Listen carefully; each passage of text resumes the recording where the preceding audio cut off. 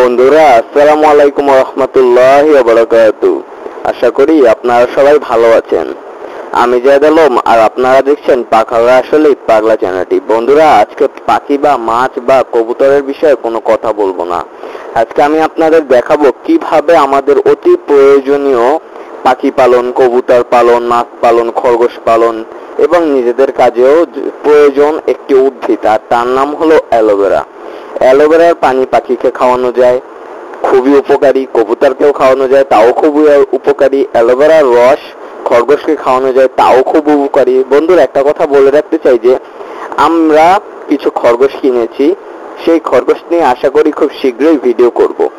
তো ততক্ষণ আমাদের পাশে থাকবেন। তো বন্ধুরা, আজকে বেশি কথা না বলে অ্যালোভেরা কীভাবে লাগাবো, কোন জায়গায় লাগাবো, অ্যালোভেরা লাগানোর মাটি কীভাবে বানাবো সে নিয়ে ভিডিও করলাম। তো বেশি কথা না বলে ভিডিওতে চলে যাচ্ছি। এই দেখুন আমি এরকম একটা পাত্র নিয়ে নিয়েছি যেহেতু অ্যালোভেরার চারাগুলো খুবই এই যে দেখুন, চারাগুলো খুবই ছোট ছোট। এই চারাগুলো লাগানোর জন্য আমি প্রথমে পাত্রগুলোকে ফুটো করব। দেখুন কীভাবে ফুটো করি।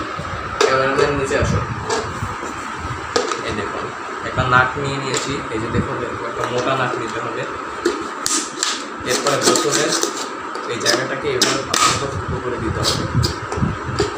যাতে পানি জমে না থাকতে পারে। আর অ্যালোভেরায় কিন্তু পানি জমে থাকলে মারা যায়। এটা মাথায় রাখতে হবে।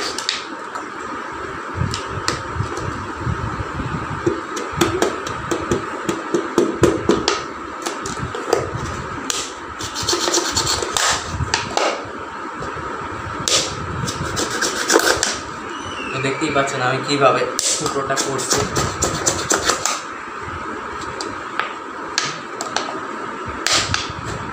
এরপরে কিন্তু এই সাইডগুলো ফুটো করে দিতে হবে।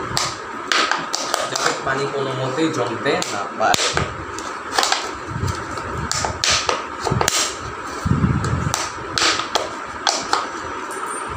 এই দেখুন ফুটো হয়ে গেছে সুন্দর মতো। এবার আপনাদের মাটিটা মিক্স করে দেখাবো। ক্যামেরা ভিডিওটা কাটতে হবে সাইডের লালটা।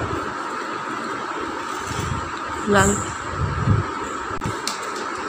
তো দেখতেই পাচ্ছেন আমি ছাই। ছাই কিন্তু সবার বাসায় পাওয়া যায়। ছাই এবং বাজারে যে মাটির বস্তায় মাটি কিনতে পাওয়া যায়, সেই মাটিটা নিয়ে নিয়েছি। আশি টাকা করে বস্তা নেবে ছাইটা আর মাটিটা ভালো মতো মিক্স করে নেবে।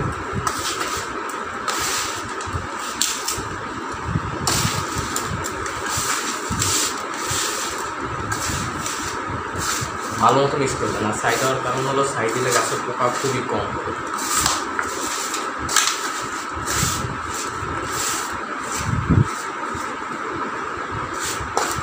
তো মিক্স করা শেষ দেখতেই পাচ্ছেন, খুবই সুন্দরভাবে মিক্স করে ফেলেছি। এবার আমরা এই যে বাজারে যে কিনতে পাই এই শার্টটা, এই যে শার্টটা দিব এই শার্টটার প্যাকেট নেবে পঁয়ষট্টি টাকা। এখানে পঁচাশি টাকা লে- লেখা, কিন্তু আপনাদের কাছে পঁয়ষট্টি টাকা নেবে। এটা এবার এটার ভিতরে এক নোট দিব। এক নোট দিলাম, আরেক এক নোট দিব। আরেক এক নোট দিলাম। এরপরে হালকা এই দেখুন, একটু। দেখতেই তো পাচ্ছেন। তো এই যে দেখতেই পাচ্ছেন, ভালো মতো মিক্স করে নিচ্ছি। আপনারা এইভাবে ভালো মতো মিক্স করে নেবেন। সারটা কিন্তু ভালো মতো মিক্স হতেই হবে, নাহলে কিন্তু গাছ বাঁচবে না। এই চারাগুলো আমি পাশের এক নার্সারি থেকে সংগ্রহ করে এনেছি। ওনারা খুব শয়তান, বুঝছেন? এই চারাটার দাম নিচ্ছে বিশ টাকা, এটার দাম নিচ্ছে পনেরো টাকা। অথচ কিন্তু বড় গাছ, ওনারা বলে বড় গাছ নেন, তাহলে দরকার কি? এই দাম নিচ্ছে তো যেহেতু আমি আর দরকার, আমি অ্যালোভেরা গাছ খুবই পছন্দ করি। তো লাগাইতেই হবে, পাখিকে খাওয়ানো যাবে। তারপর খরগোশ কিনবো, কয়েকদিনের মধ্যে খরগোশকে অ্যালোভেরার সুযোগ জুস খাওয়াতে হয়। তো এভাবে ভালো মতো মাটিটা মিক্স করে দেবো।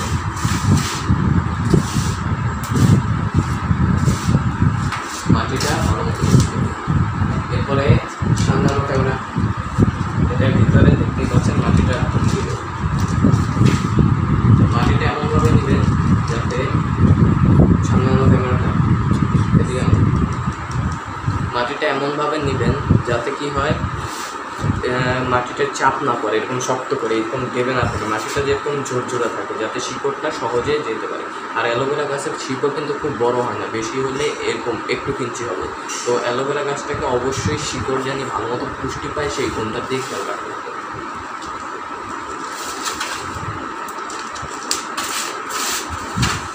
মাটিটা আমি ভালো মতো নিয়ে নিচ্ছি।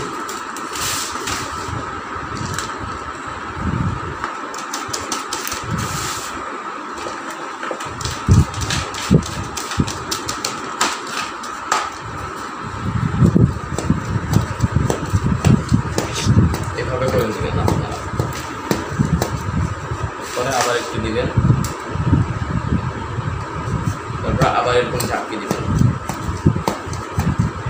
এরপরে আবার একটু নেবেন। আর লাগানোর পর, লাগানোর এক সপ্তাহ পর সার দিতে হবে গাছে। গাছে কীভাবে সার দিবেন, সে ভিডিও নিয়ে আমি এক সপ্তাহ পর আবার হাজির হব। তো আজকে দেখুন শুধু কীভাবে গাছ লাগাবো। গাছ না লাগিয়ে যদি সারের কথা চিন্তা করি, তাহলে তো আর লাভ হবে না। তো গাছ লাগানোর মাটি পর্যাপ্ত পরিমাণে রেডি বা সামনে ক্যামেরাটা দেখুন কীভাবে। এই আঙুলটাকে এই সাইড দিয়ে একবার দিবেন। ঠিক একটু একটু, দুই ইঞ্চি, না সরি দেড় ইঞ্চি দেড় ইঞ্চি দেড় ইঞ্চি গর্ত করে নেবেন। গর্ত করার পরে আমার যেহেতু ছোটো চারাটা লাগাতে হবে আগে, ছোটো চারার শিকড়টা দেখছি কবে খুবই স্মুথ সুন্দর। এই শিকড়টাকে এভাবে লাগিয়ে দেবেন। এরপরে ভালো মতো মাটি দিয়ে চারো সাইডটা ভরে দেবেন আর একটু সামনে আনো ক্যামেরাটা একবার সামনে আনো। জানি না ক্যামেরায় কতটা ফোকাস হচ্ছে। এই দেখুন আরও সামনে আনো আরও সামনে আনো। ফোরে দেওয়া এই যে দেখতেই পাচ্ছেন ফোকাসটা একটু আপনাদের দেখাই। এই যে দেখুন এই ভিতরে জানি মাটি চলে না যায় সেদিকে খেয়াল রাখতে হবে গাছের ভিতরে। না হলে কিন্তু গাছ আর বড় হবে না। তো এবার এই সাইডটা দেখাই। এটাও ঠিক সেমভাবে আর খেয়াল রাখতে হবে গাছের ভিতরে যেন কোনো পক্ষে মাটিটা চলে না যায়। আর সামান্য একটু মাটি সাইডে ঘুরতে দিয়ে দিই, যাতে যেটা গাছটা গাছটাকে প্রোটেকশন দিবে।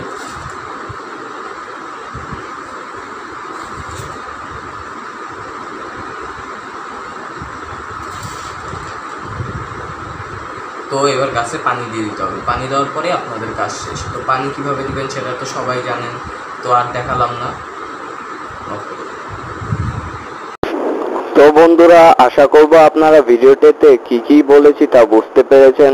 এবং যদি ভিডিওটি ভালো লেগে থাকে, অবশ্যই ভিডিওটি লাইক করবেন। কিছু বুঝে না থাকলে অবশ্যই কমেন্ট করবেন। এবং যারা আপনাদের ফ্রেন্ডস গ্রুপ আছে, সেখানে ভিডিওটি শেয়ার করে দিলে হয়তো পাখাল আসলে পাগলা, আস্তে আস্তে বড় পাগলায় পরিণত হবে। তো বন্ধুরা, যারা যারা পুরাতন আছেন, নতুন আছেন, এখন পর্যন্ত চ্যানেলটি সাবস্ক্রাইব করেনি তাদের কাছে রিকোয়েস্ট চ্যানেলটি সাবস্ক্রাইব করে তার পাশে থাকা ছোট্ট বেল আইকনটি প্রেস করে দিবেন। তো আজকে ভিডিওটি এখানেই শেষ করছি। সবাই ভালো থাকবেন, সুস্থ থাকবেন। করোনা ভাইরাস থেকে দূরে থাকবেন। আসসালামু আলাইকুম রহমতুল্লাহ বারাকাতুহু।